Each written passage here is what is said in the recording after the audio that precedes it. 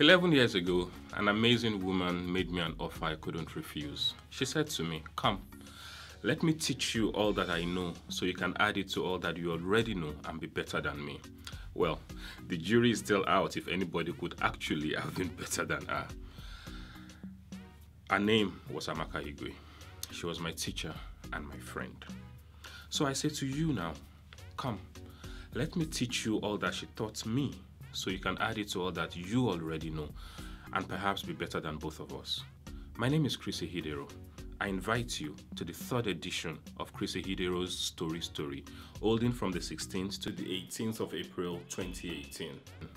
Guess what? It's absolutely free. I hope to see you there.